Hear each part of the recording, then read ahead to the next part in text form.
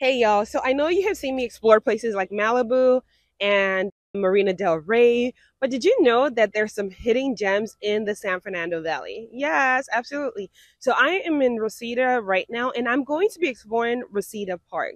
But before I do that, let me give you a little bit of history, okay?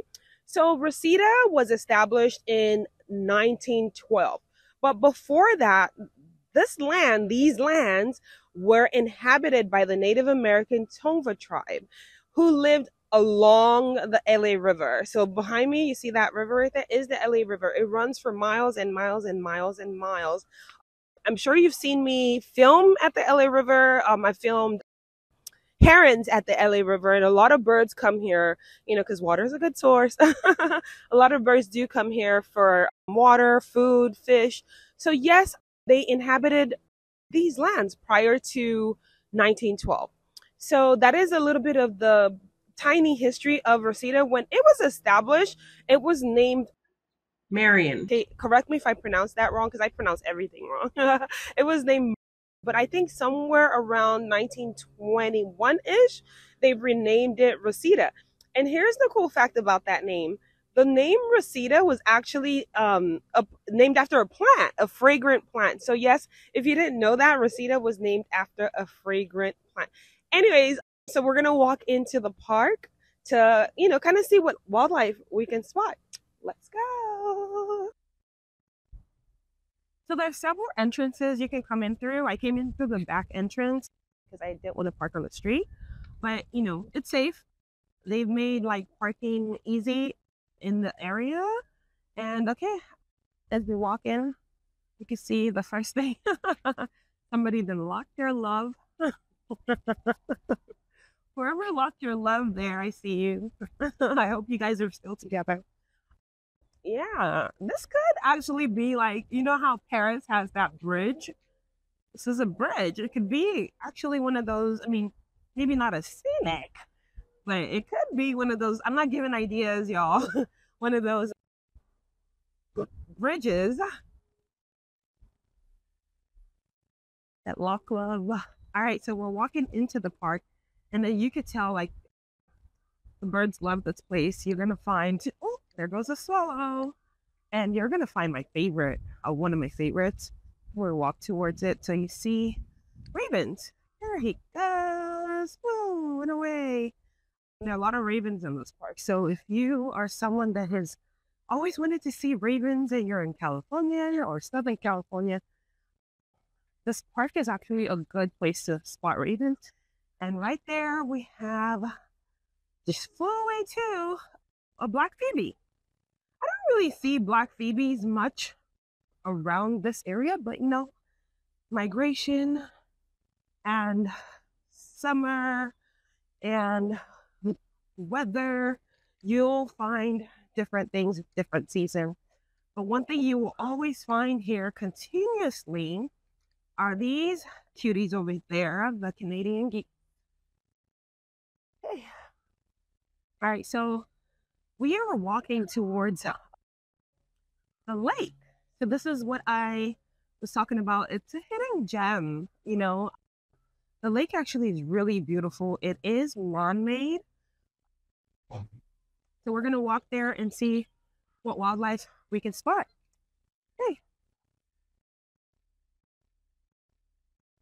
And over time, I feel like, uh-oh. Oh, shoot. I dropped something. So give me a second. I dropped my lens cap. Not good. And of course, I dropped it in the mud. Not cool. Just one muddy spot out of all the non-muddy spots is where my lens cap decides to fall. Okay. Well, at least it's not my lens fell. So, as I was saying, uh, this lake is man-made. It is pretty serene. So we're going to see what wildlife we can spot here. It's going to be mostly birds, but we're going to see what birds we can spot.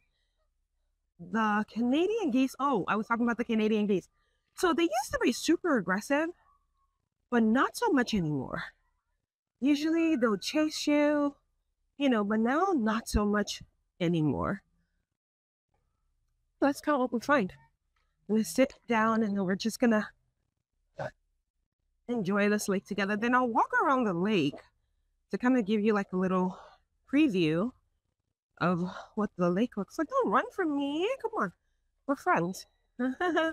we all know what that is, right?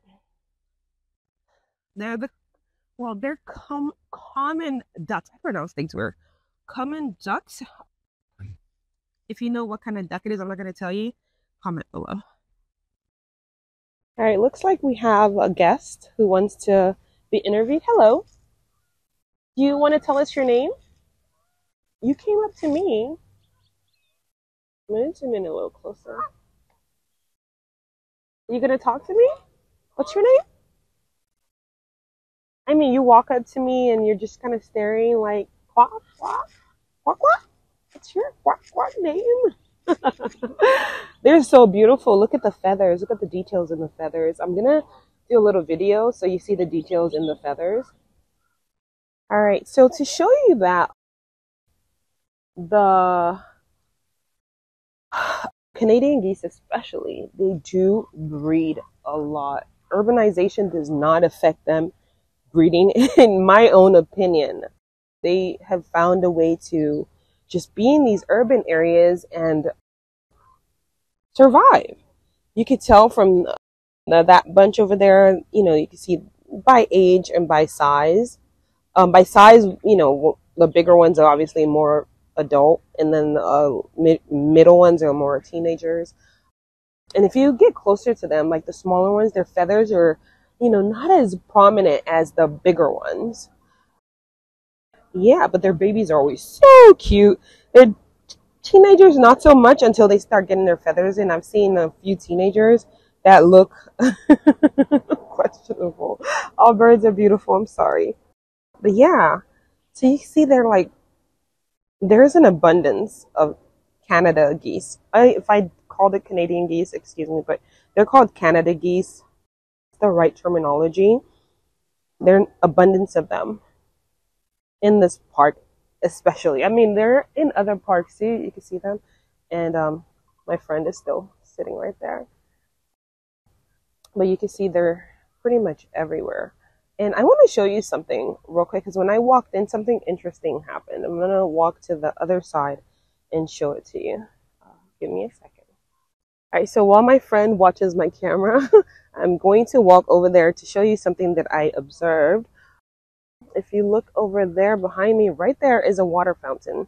So when I walked in, I had observed the Canada geese, about four or five of them, trying to drink water from that fountain. So I find that interesting, the effects of urbanization on wildlife. I'm gonna put this right here. Talk to you. It's a little high. so we're gonna lower it a little bit. All right, good. So yeah, like I was saying, I find it interesting. There ants here. I find it interesting how animals adapt. And my friend is still there. You want to come say hi? no? Okay. How animals adapt to urbanization. Canada geese, and especially ravens, like crows, ravens, and squirrels. Especially fox squirrels, actually. Fox squirrels are so hardy. They they're like the roaches of the squirrel world. They can adapt. They're not too smart crossing the street, but they adapt pretty well to urban environments. Like they know how to like be your friend when there's food. They know how to beg for peanuts. Good or bad, I don't want to be like, you know, judge Toni. But you know, the general rule is like wildlife, like let's say, oh wait, that might be happening again. There, here they go. Hold on, let me see if they're gonna go towards the fountain. Maybe, maybe not. Maybe we get to see them go back to the fountain. Anyways, like I was saying, the squirrels or just general wildlife depends on the wildlife. Like you shouldn't feed things like coyotes, right? Because you know they need to be able to survive in the wild. But I think squirrels have gotten to a point where they're like, you know, that pet you can't bring into the house, so they kind of live outside your home in the trees or whatever. So yeah, you know, again, like I was saying, I find it interesting how animals adapt to their environment. They're pretty amazing. So we're gonna keep walking, and my friend over here and I uh, maybe. Oh, I was gonna give away the if it was a male or female. maybe friend is gonna follow me or not. Let's go. All right, y'all. So before we walk the lake, um, I want to show you something behind me right there. Did you see that? That is what I think is a Brewer's blackbird.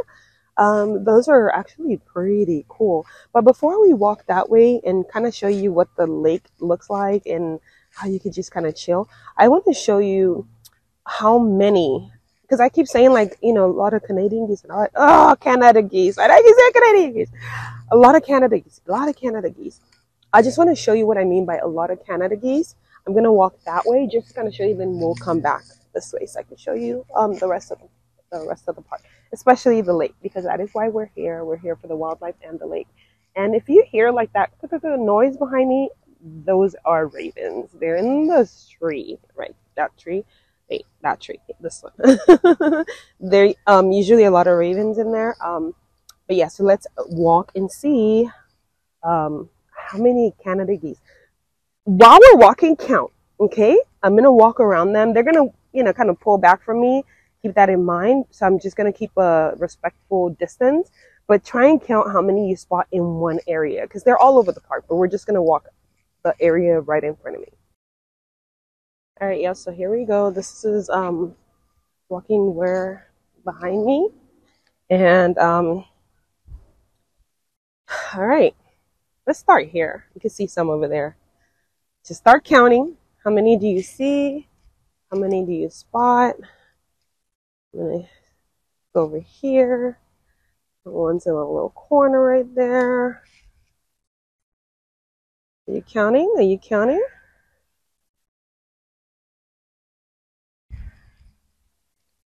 There's some over there. We already saw these ones. That one over there in that corner. Over there. That's a squirrel. Fox squirrels, they are so adaptable. There's some over there. And gosh. Oh, hello, friend. You see them looking at me like, what is wrong with this lady with the camera? That two over there. Or I can say two. I'm not going to tell you how many. And all the way to that end, you see over there. And you're counting. this is a fun little exercise. Hello, friend. We're doing a count of you guys, right? And they're all looking at me, looking, looking, looking side eye. I love when they side eye, like looking at me, like, what do you want, lady? All right. So over here and over here again, they're kind of used to people. Oh, want to show off your wings, huh? Yeah, they're kind of used to people. So you see, like, they're not really even running away from me. And one thing you trust Canadian, Canada geese. if I say Canadian geese, I'm gonna have to drop a dollar in a bucket. Um, Canada geese to do is fight. They like to fight. Well, there's so many of them. All right, so we have. Are we still counting? Yes, we are here, here, here, and ah, yeah, yeah, I fight. Always fighting. Uh, am I confusing you now? Because I'm kind of moving in a circle. So I'm gonna go there over there. Uh, let's see. And okay, I'm gonna get closer to this spot so you kind of see them.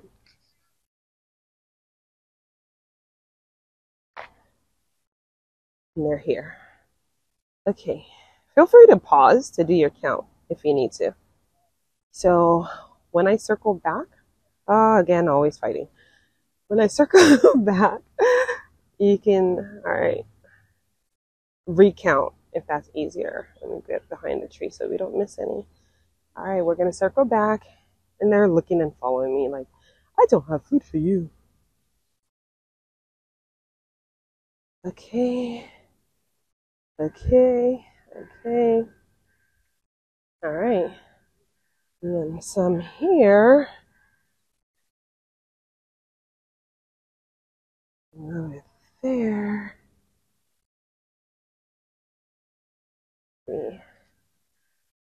Over here. and we're walking back towards the lake.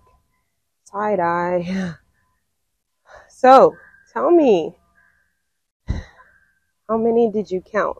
Give a guesstimate. You don't have to give like the actual number. Give a guesstimate. How many do you think? And that's just on one side of the park. Like we didn't even explore. I'm gonna do like a little 360.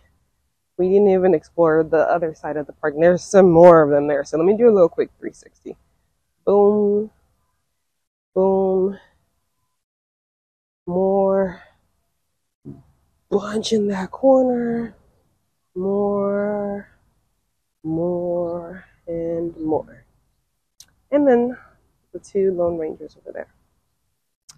All right, let's walk back to the lake.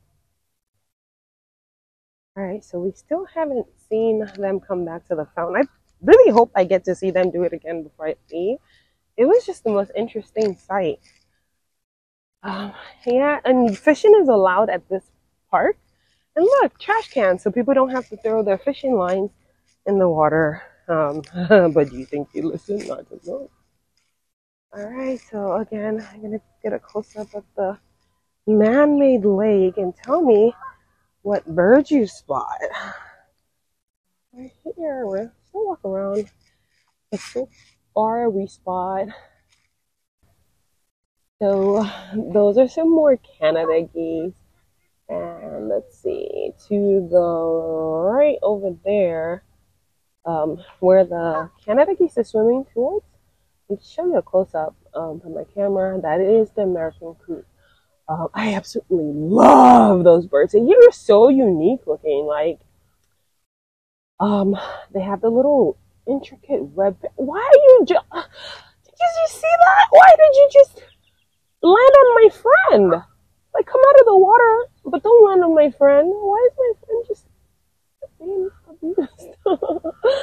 okay, that's better. Like the first one just landed on my friend. Like, what the heck?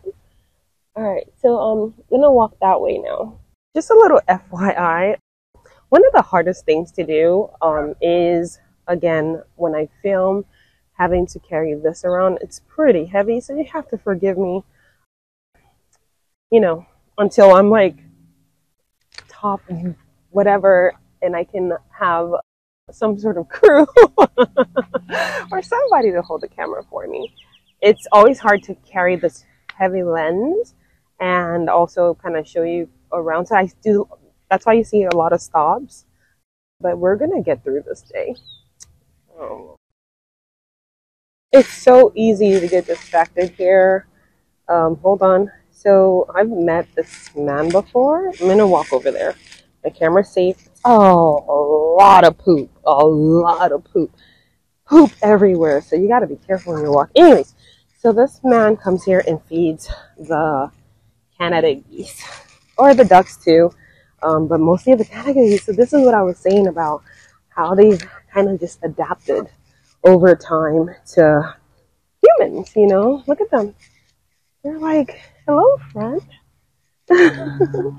I find them so interesting. Look at, they're like they see food, you know, and they just kind of see, not running, not being aggressive. Like they know like, oh, this person feeds us. Again, um, there are some places that don't allow feeding because this is what happens. They breed. Where there's food, they're happy. And look how they follow him. Look. He's like the Canada geese whisperer. All because of bread. Look at them. Look at them. Look at them. Amazing stuff. All right. Um, oh, look at you, cowbird. Uh, look at that little cowbird over there. All right, so I'm going to walk. I've been saying that. I keep getting distracted. I'm going to walk towards the other side of the park, but I found this interesting to see how they respond to humans that feed them. And they're going to start fighting. Canada geese and fight five and six. See, see? Two seconds there. Oh, he's fighting. All right, we're going to walk that way now. Um, or else we're going to spend this episode filming all Canada geese. Today on Adventures of a Nature Explorer, Wildlife Explorer, Canada Geese. Alright, so we are doing a quick walk around the lake to see what we're going to spot. Finally! Nothing's going to distract me this time, I promise. Okay, I'm not promising, but I will try to do the walk around before I get distracted. All right, so um, one thing about this place, one thing about this, one thing about this place is you will find an abundance of poop. Jeez. Oh, look. We have, can you guess what that is? All right, more birds. Um, from blackbirds to cowbirds, blackbirds, cowbirds.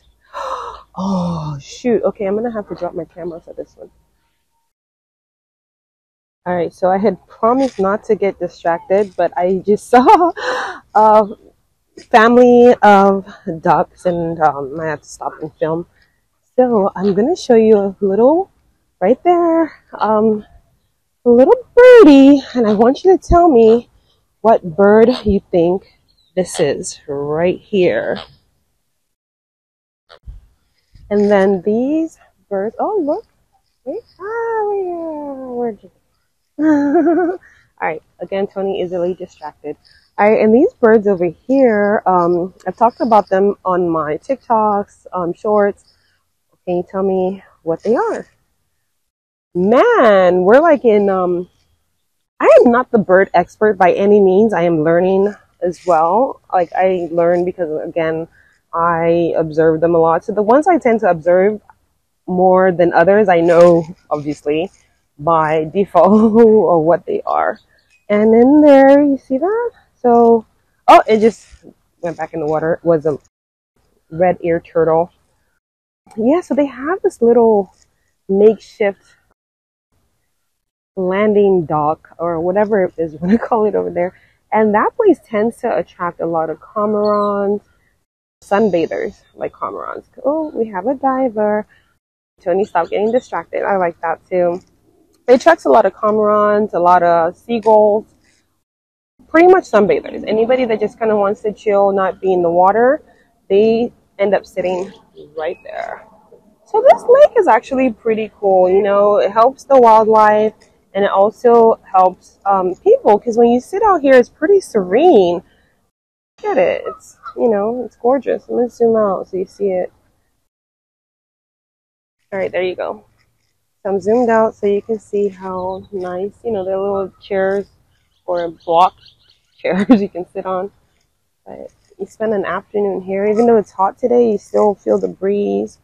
You know, you could just kind of sit, read a book, listen to music, and we have some seagulls on there at the side over there.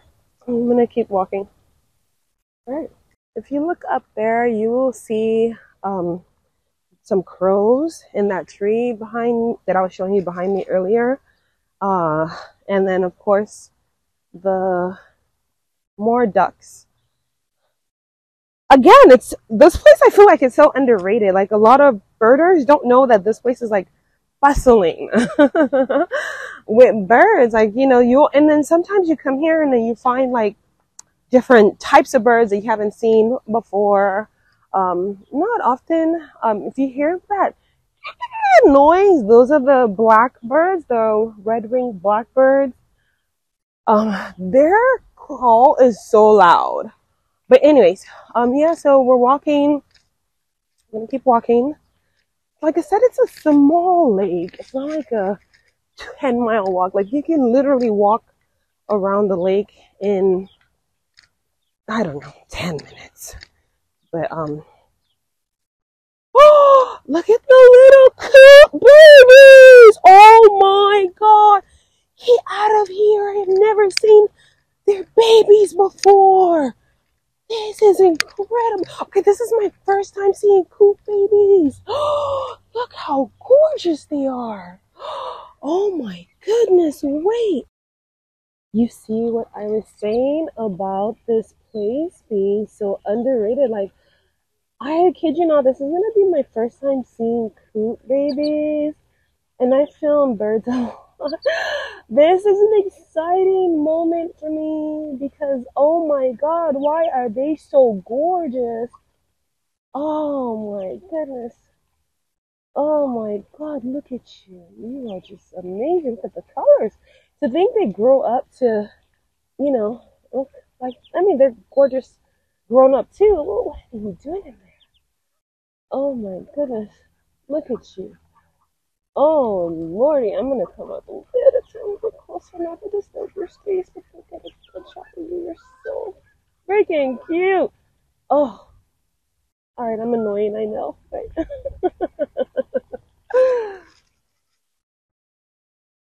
all right, y'all. So how exciting was that? And then we get to experience it together. Oh god. Okay, so I get overly excited. You have to excuse me, but yeah, like I've never I see coots every time, but I've never seen their babies before, and we got to see coot babies together. That was pretty exciting. Anyways, I'm gonna keep walking. We're almost at the other side. It's a short walk from here. Let's see, maybe we'll spot more babies. We've seen coot babies, we've seen um ducks, ducklings, and there's a cormorant right there. I don't know if you can see it. Camera footage coming. But yeah, there's a cormorant right there. Maybe we'll get lucky and see a cormorant fishing. All right, so um, walking the rest of the park, see what else we see. Uh, there goes a squirrel and a pigeon. All right, so I rarely see pigeons just kind of chilling on the tree like that, not moving, but at an angle. And squirrels, of course, they're always gonna do what they do, hide nuts. So you know, squirrels don't always remember where they hid their nuts. It's like they just kind of guess, like, okay, I think I must have hidden it here. They're not always a hundred percent accurate, but look how cute they are when they do it, though. The win. All right, so we're gonna keep moving. Once we see more interesting, it never gets old for me. Like nothing like super exciting, like like an osprey. You know, diving has to happen for me to enjoy just kind of being out here. Something as simple as a squirrel hiding its peanuts is or whatever acorn, whatever nuts it finds is exciting for me. Just another kind of view of the park before I walk across. And again, urban life, see buildings surround it. It is what it is. All right.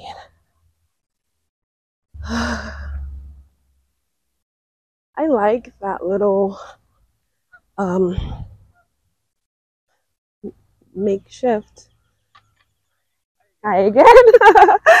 um, planted area over there. So the cool thing is the that was planted by the high schoolers in the school nearby. Um, the science magnet. Oh my goodness!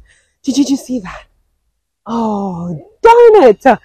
I am zoomed too far away, so that's a cormorant, and it just caught fish. But of course, guess who's zoomed too far away where you couldn't see it? And my ah, my camera is on my shoulder, so I missed that completely.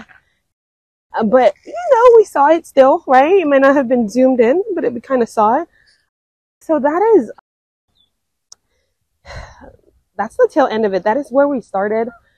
We walk around this way. A lot of the cormorants hang around here because again, fishing is allowed and there seems to be a lot of trout. Um, trout was introduced to this lake. I'm not sure when, but there's trout in these waters.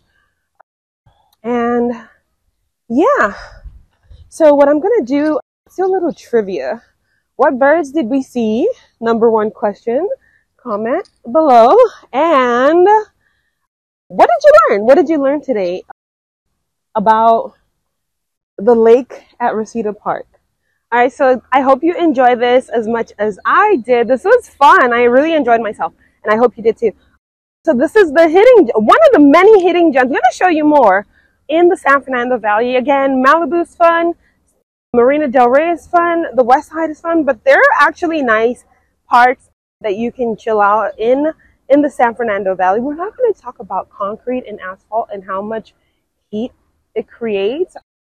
Let's enjoy the greenery and the fact that the wildlife in this park, I'll call them urban wildlife, they can actually thrive. I don't see a lot of birders here. I, I, I don't. And I think, again, it's because they don't know how much you can find here. Most people go to like the reserve, the wildlife basin, because again, you'll find stuff. But I've seen herons here. I've seen all sorts. You see cormorants. We saw baby coots. Baby coots. We saw baby coots. Oh my god. Ah. All right. So again, stay tuned for some of the footage that I captured at the end of this video. I'm going to show you if you enjoyed my this walk with me, do not forget to subscribe.